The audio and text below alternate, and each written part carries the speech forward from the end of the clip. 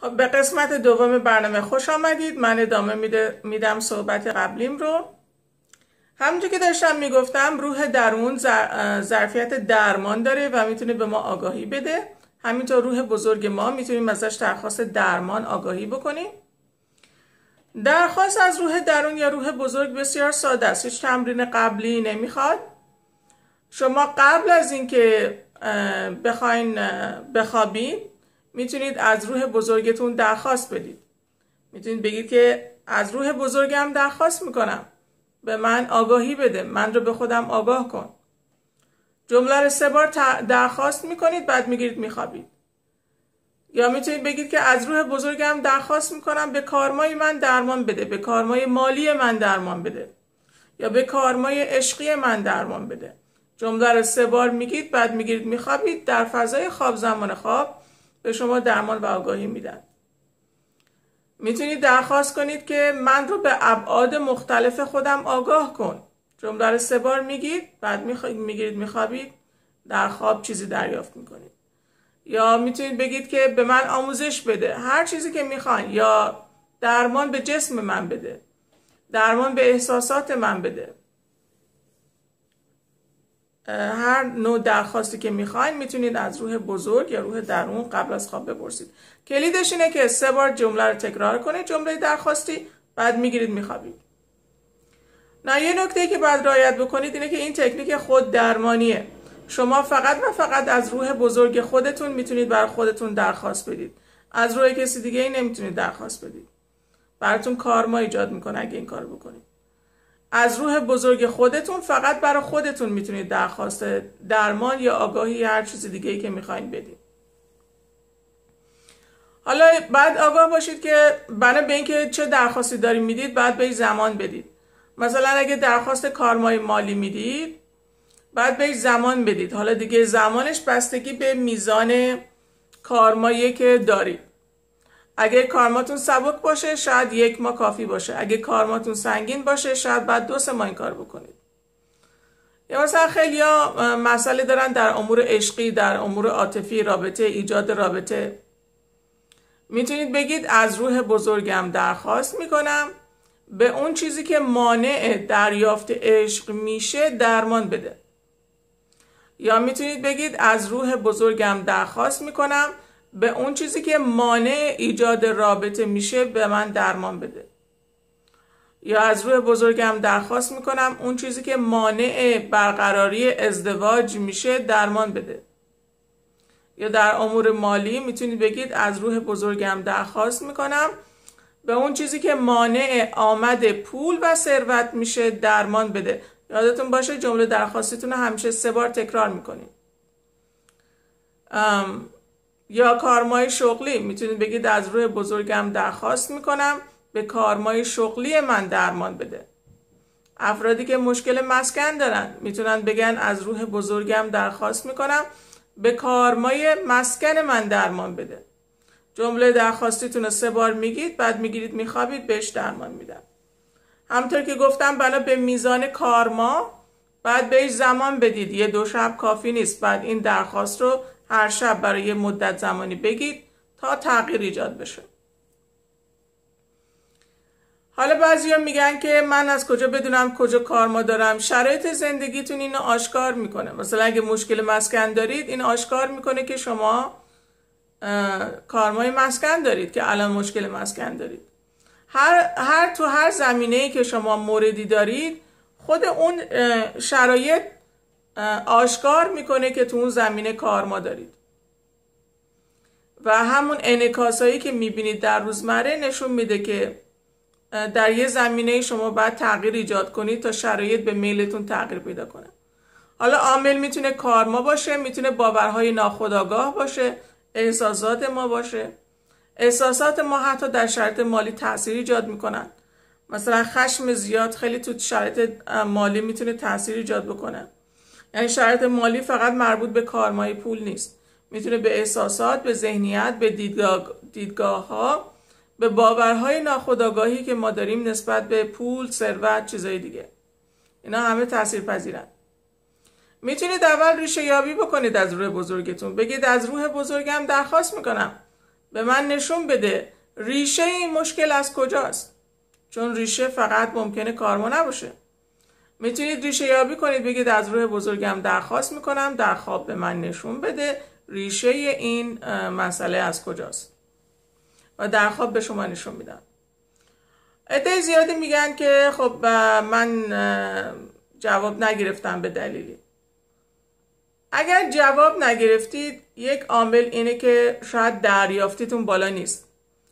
برای اینکه دریافتیتون بیاد بالا ظرفیت دریافت بیاد بالا می‌تونید قبل از خواب برای 20 دقیقه مراقبه بکنید. موقع مراقبه ذکر بگید که دریافت می‌کنم عشق خدا رو برای 20 دقیقه. اگر عادت به مراقبه ندارید می‌تونید دو تا ده دقیقهش بکنید. ده دقیقه صبح ده دقیقه شب قبل از خواب. ولی ببخشید. ولی درخواست می‌کنید که مراقبه می‌کنید ده دقیقه صبح ده دقیقه شب و ذکر میگید که دریافت می‌کنم عشق خدا رو. این کمک می‌کنه که ظرفیت دریافتی شما بیاد بالا و بتونید جواب هاتون و درمان هاتون رو بهتر دریافت کنید.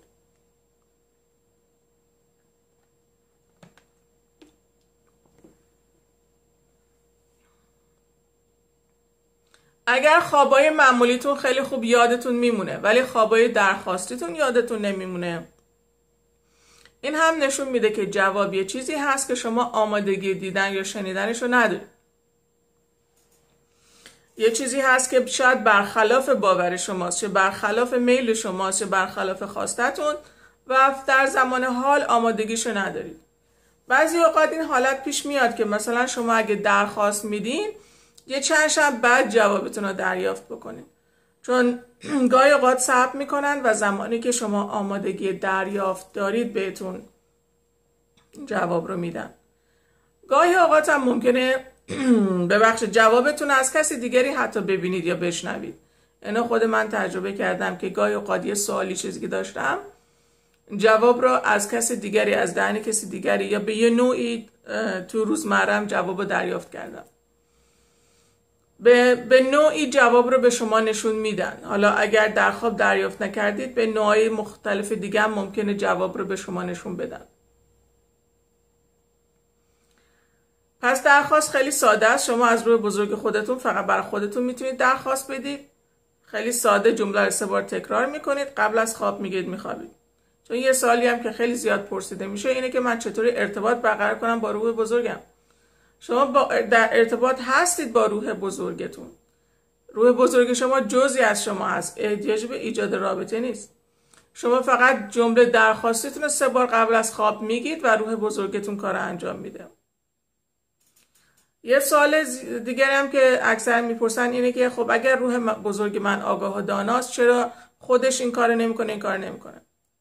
چرا خودش خود به خود مشکلات رفت نمی‌کنه؟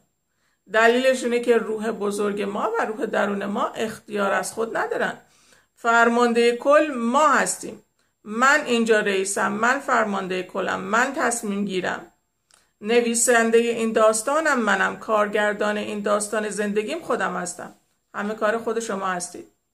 روح بزرگ شما می‌تونه به شما کمک و همکاری بده. ولی فرمانده و تصمیم گیرنده خود شما هستید.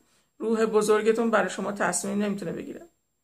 یا تو یکی از امور مثلا بعضی میگن که از روح بزرگشون درخواست می‌کنن من این کار بکنم یا این کار بکنم. این یعنی که شما می‌خواین روح بزرگتون بر شما تصمیم بگیره. و این جواب نمیده به خاطر که روح بزرگ شما بر شما تصمیم نمی‌گیره. راه بهترش اینه که شما یه انتخاب بکنید و بعد از روح بزرگتون درخواست کنید آیا این به صلاح من هست یا نه. مثلا اگر یه مورد ازدواج دارید می‌تونید بپرسید که از روح بزرگم درخواست می‌کنم. به من نشون بده اگر این شخص به صلاح من هست یا نه. یا از روح بزرگم درخواست می‌کنم حس باطنی این شخص رو به من نشون بده. یعنی انتخاب رو خودتون می‌کنید و بعد می‌تونید از روح بزرگتون درخواست کنید که آیا این انتخاب به صلاح من هست یا نه. اینطوری روح بزرگتون می‌تونه به شما راهنمایی بکنه. ولی براتون انتخاب نمی‌تونه بکنه. یا حتی اگر در خرید خونه می‌تونید بگید که از روح بزرگم درخواست می‌کنم. به من نشون بده آیا این خونه به صلاح من هست یا نه. چون مثلا یه سری موارد و مسائلی هست که شاید ده سال بعد پیش بیاد. شما بهش آگاه نیستید. ولی روح بزرگتون به این امور آگاهه. می‌تونید از روح بزرگتون درخواست کنید که به شما در خواب نشون بده اگر مثلا خرید این ملک یا خرید این مسکن به نفع شما هست یا نه. اون نتیجه که می‌خواید به شما میده یا نه. بهترین منبع اطلاعات همین روح بزرگ شما هست. یعنی شما بالواقع خودکفا هستید همه دانش ها درون شما هست و هیچ احتیاجی هم به کسی ندارید. روح بزرگ شما که جزی از خود شما هست همه جواب ها رو داره. سال دیگر که زیاد پرسیده میشه اینه که کارما چیه؟ کارما یعنی اینکه هر کاری که شما بکنید به خودت برمیگرده. یعنی خود کارما بالواقع خوب و بد نداره. کارما یعنی هر کاری شما بکنید بهت برمیگرده. حالا اگه کار خوب بکنی خوب بهت برمیگرده. اگه کار بد بکنی بد بهت برمیگرده. ولی خود کارما یعنی هر کاری بکنی بهت برمیگرده. اکثر کارماهایی که افراد باشون رو برو هستن الان ربط داره به عمرهای قبل. البته نه صد درصدش ولی اکثرش ربط داره به عمرهای قبل. یه کاری در عمر قبل کردید. اگر الان دچار یه سری مشکلات هستید یعنی که یه کاری کردید در عمرهای قبل که خالی از عشق بوده. یه برخوردایی کردید که عشق درش نبوده. اگر آدمای خوب با شما برخورد می‌کنن زندگیتون پر از برکت زندگیتون پر از خوبیه آدمای خوب باهاتون برخورد می‌کنن. این نشون میده که شما انتخاباتتون اعمالتون در عمرهای قبل خیلی خوب و مثبت و با عشق بوده که این باعث میشه که الان هم عشق رو تجربه بکنید و دریافت بکنید عشق و افرادی رو ببینید سر راهتون که با شما مهربان هستن و به شما عشق میدن. یکی از درسای اصلی که همه آدمایی روی کره زمین دارن یاد می‌گیرن یکی اینه که خودمون رو دوست داشته باشیم به خودمون عشق بدیم و خودمون رو ببخشیم. اکثر افراد در بخشش خودشون خیلی مشکل دارن. خودشون رو به راحتی نمیبخشن. خودشون رو قضاوت می‌کنن. به خودشون خیلی سخت می‌گیرن. معمولا اگر شما بتونی نسبت به خودت بخشش داشته باشی دیگران رو هم راحتتر میبخشی.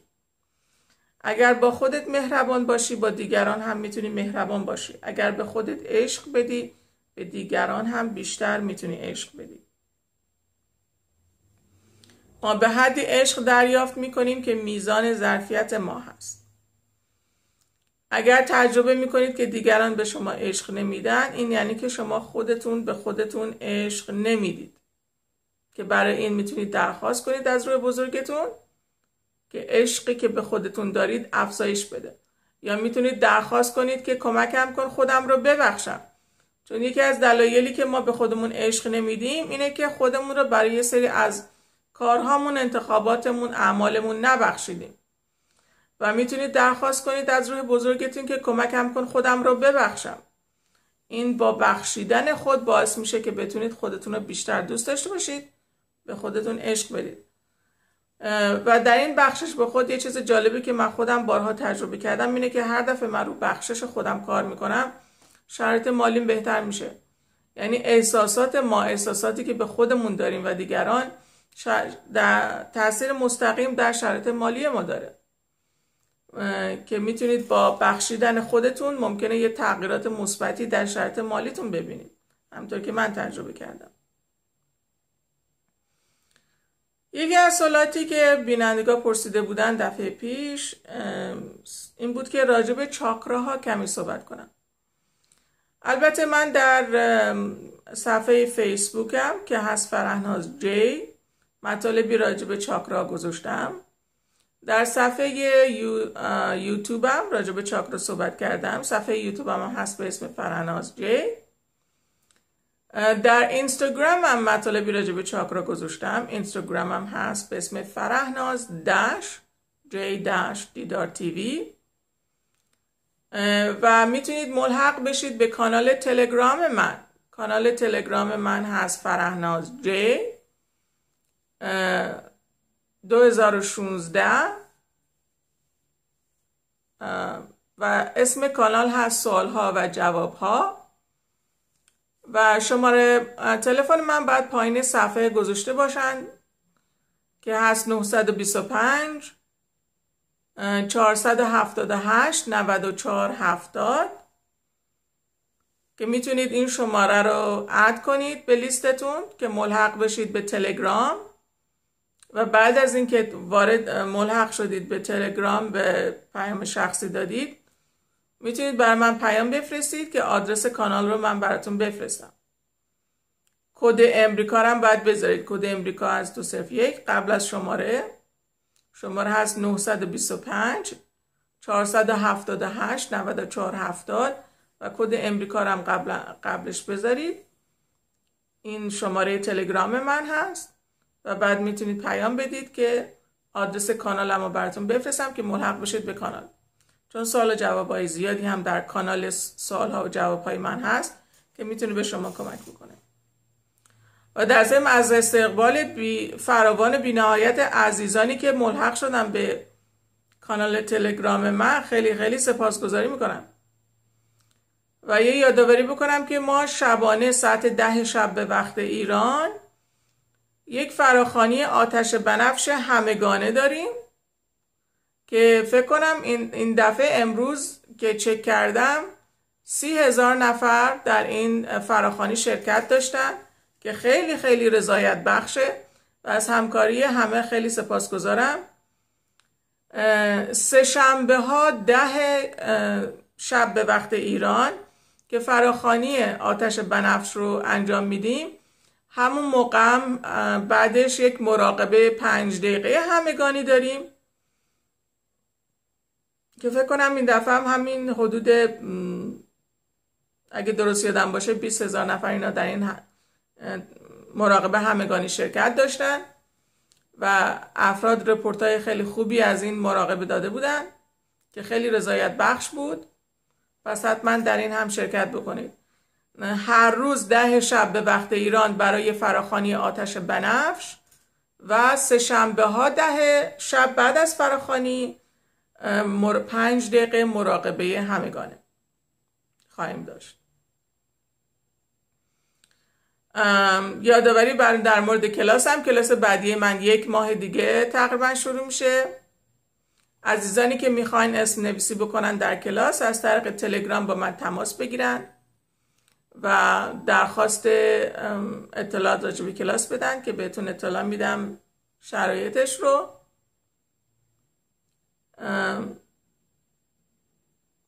حالا راجبه چاکراها. ایمیل من هم بعد پایین صفحه باشه. ایمیل من هست فرهناز جی 2013 at yahoo.com ولی بهترین راه تماس با من از همون تلگرام هست. راجع به چاکراها. ما سیستممون هفت چاکرای اصلی داره. و متاسفم که الان من از مثلا خیلی مایل بودم که بتونم تصویر و چیزای مختلف انیمیشن به شما نشون بدم در این مورد. ولی خب حالا ایشالا دفعه بعد. و روی کتابی هم دارم کار می‌کنم راجع به این چاکرا که ایشالا به چاپ که رسید در اختیارتون خواهد بود. ما هفت چاکرای اصلی داریم. حالا خود این چاکرا چی هستن؟ چاکرا مرکزهای انرژی هستند که این چاکراها خصوصیت های خیلی زیادی دارن.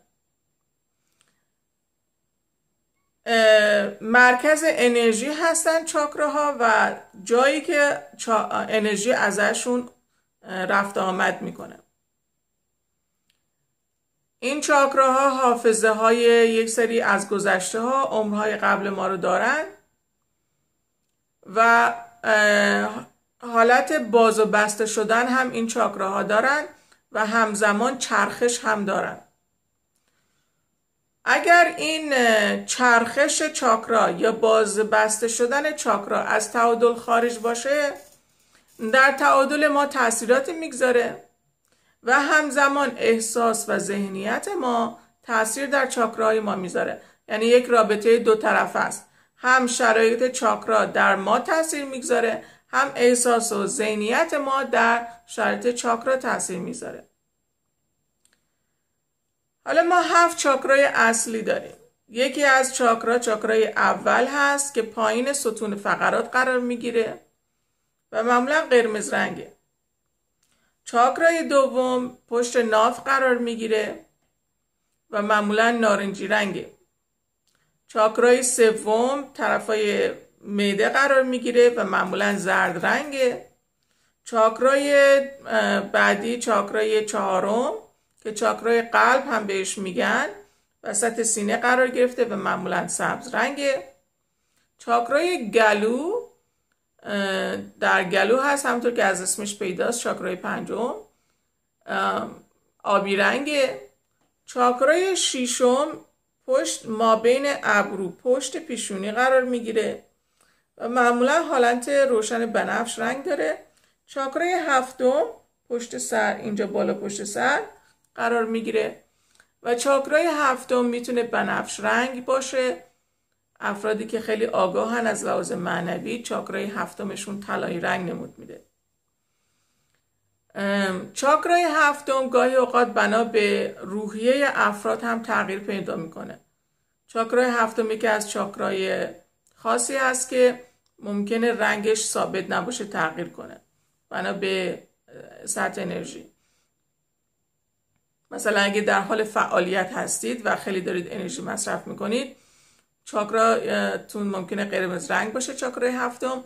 همچنین تو اوراتون هم اون رنگ قرمز تحرک دیده میشه. یا مثلا اگه کسی آرام هست حالت آرامش داره ممکنه هم توی اورا هم توی چاکرای هفتم رنگ آبی دیده بشه. حالا اورا چیه؟ اورا ربط داره به چاکراهای ما. اورا حاله نوری هست که دور جسم ما قرار می‌گیره و اورا رو کسایی می‌تونن ببینند که یا چشم بصیرتشون بازه یا بینش دارن این استعداد بینش دیدن اورا رو دارن. و اورا یه حال نوریه که دور ما هست و این حالت حفاظ ما میمونه مثل در دیوار خونه. و هر چقدر این اورا سالمتر قویتر باشه بهتره. و چه چیزی در اورا تاثیر می‌ذاره؟ همونطور که در چاکراهای ما تاثیر ایجاد می‌کنه. انرژی کارما احساسات ذهنیت ما در چاکرا و اورای ما تاثیر ایجاد می‌کنه.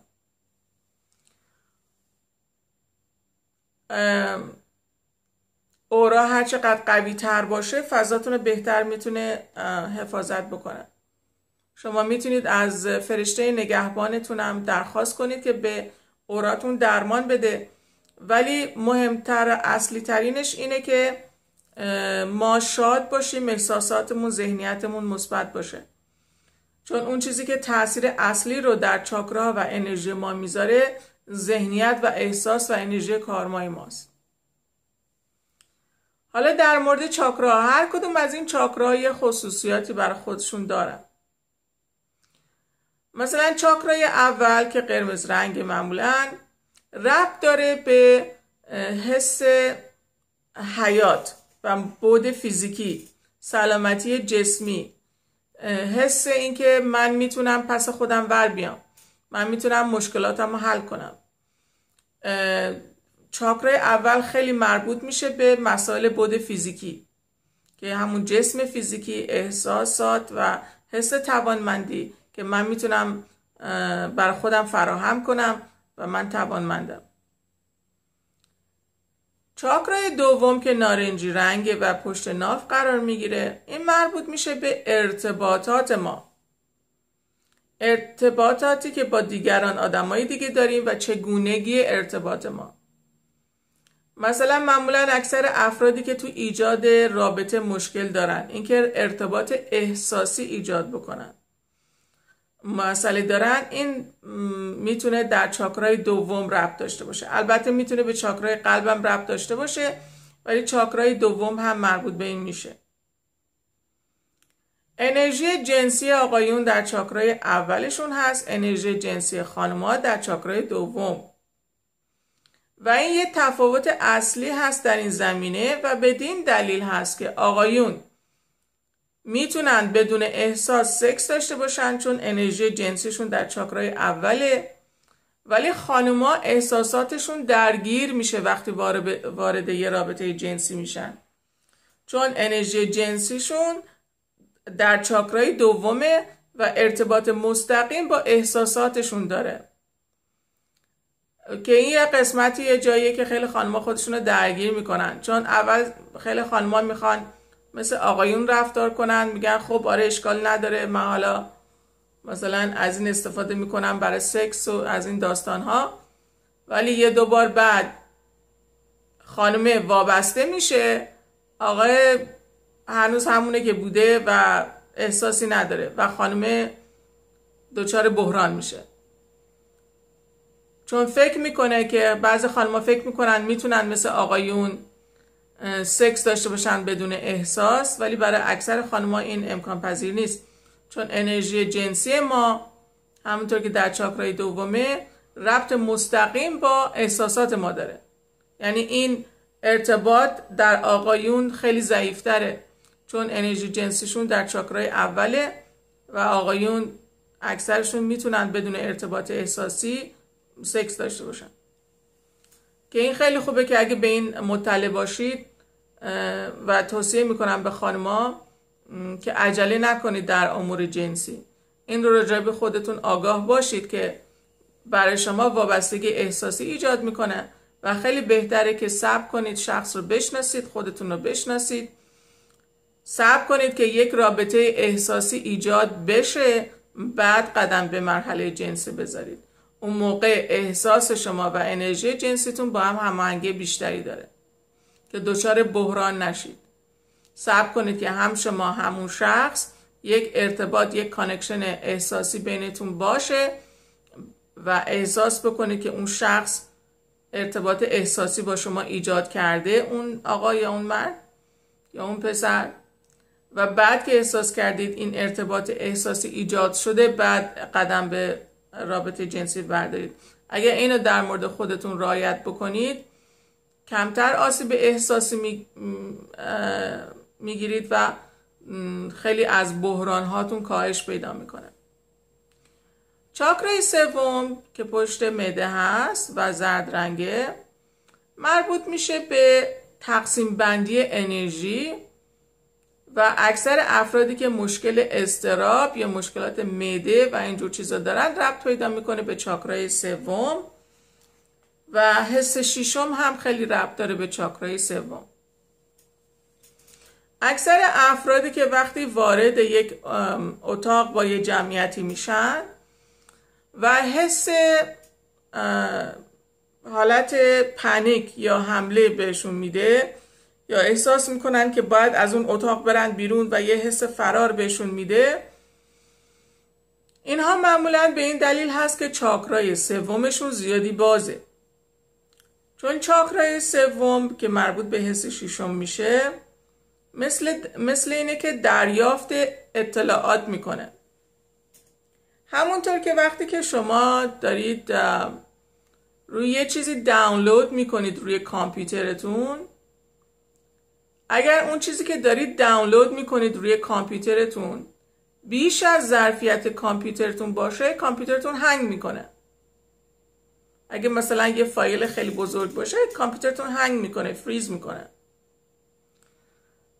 این چاکرای سوم هم همین حالت رو داره. اگر اون زیادی باز باشه مثل اینه که اطلاعات خیلی زیادی به سرعت داره به سمت شما میاد. چون مثلا یه جایی که هستید توی فضا با جمعیت موج همه رو دارید می‌گیرید. و این مثل اینه که اطلاعات زیادی همزمان داره به سمت شما میاد. و این حالتی هست که حالت حمله یا فرار به افراد میده که می‌خوان در برن از اون فضا. و خوشبختانه راه حلش هم نسبتا راحته شما فقط می‌تونید لازمه از روح بزرگتون درخواست کنید. به این چاکرا تعادل بده. که وقتی که چاکرا حالت باز یا بسته بودنش حالت متعادل باشه اون میزان اطلاعاتی که دریافت می‌کنید یا بیرون می‌دید متعادل خواهد بود. دیگه اون حالت موج حمله به شما نمیاد. آروم آروم اینا رو فیلتر می‌کنه چاکرا آروم آروم به سمت شما میاد. و اون حالت حمله دیگه به شما دست نمیده. چاکرای قلب. چاکرای قلب از اون که اسمش مشخصه مربوط به ارتباطات احساسی ما. و انرژی غم در این چاکرا خیلی تاثیر ایجاد می‌کنه. و خیلی تاثیر ایجاد می‌کنه حتی در ریه ها سر افرادی که مشکل ریه دارن. مربوط میشه به حس غمشون و چاکرای قلبشون. و افرادی که خیلی به نظر میان دلسنگ و افرادی که ارتباط احساسی نمی‌تونن برقرار کنن این یعنی که چاکرای قلبشون بسته است. چون ایجاد ارتباط با دیگران هم ربط داره به چاکرای دوم هم چاکرای قلب. این در آقایونی که خیلی پارتنر عوض می‌کنن مثلا از یه خانم میرن به یه خانم دیگه خیلی پارتنر عوض می‌کنن. و فکر می‌کنن که تنوع طلبن. فکر می‌کنن که آ من مثلا بعد این نمی‌تونم با کسی زیاد مدت باشم و فکر می‌کنن به خیال خودشون که تنوع طلبن. و در طول شاید مثلا چند سال خانمای زیادی هی باشون برخورد کردن و عوض کردن. ریشه اصلی و مشکل اصلی این آقایون یا حتی در خانم هم این می‌تونه ایجاد بشه ولی بیشتر در آقایون دیده میشه. اینه که قلبشون بسته است و چاکرای دومش چاکرای اول دومشون هم متعادل نیست و با بستن بسته بودن چاکرای اول نمی‌تونن اون ارتباط احساسی رو ایجاد کنن. و چون این ارتباط احساسی ایجاد نمیشه دائم احساس خلا می‌کنن. و سعی می‌کنن این احساس خلا رو با سکس و اینجور چیزا پر کنن. یا با بعضی اوقات حتی با مشروب مواد اینجور چیزا. سعی می‌کنن این خلا رو پر کنن. که ریشه اصلی بسته بودن قلبه و عدم تعادل در چاکرای دیگه که این مانع میشه اینکه ارتباط احساسی برقرار کنن. چون ما برای اینکه بتونیم احساس کنیم که وصل هستیم به دیگران و احساس یگانگی و نزدیکی احساسی با دیگران داشته باشیم باید بتونیم این ارتباط احساسی رو ایجاد کنیم. بتونیم عشق بدیم و عشق دریافت کنیم. وقتی که قلب بسته است ما نه عشق دریافت می‌کنیم نه عشق میدیم و ارتباط احساسی ایجاد نمیشه. و چون خیلی از افراد به این مسئله آگاه نیستن ولی کمبود رو حس می‌کنن رو میارن به چیزایی مثل سکس یا مشروب یا مواد و اینجور چیزا که این خلا رو پر کنن. که عامل اصلی عدم دریافت عشق و دادن عشق چون قلب بسته است. حالا چه چیزی چیزایی باعث میشه که قلب بسته بشه؟ آسیب های احساسی عدم احساس امنیت اینا چیزایی هستن که باعث میشه که قلب بسته بشه. مثلا اگر کسی تجربه کرده که قلبش شکسته یا توی رابطه قلبش شکسته یا حتی این در دوران کودکی هم می‌تونه ایجاد بشه خیلی وقتا که اگر بچه